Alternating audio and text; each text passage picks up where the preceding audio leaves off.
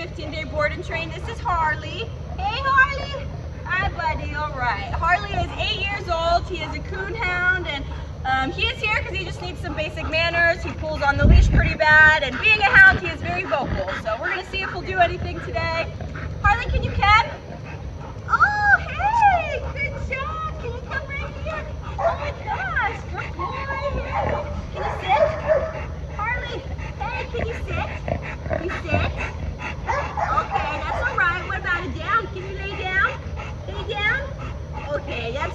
Buddy. Let's go for a walk. Do you know heel? Woo! This way, heel.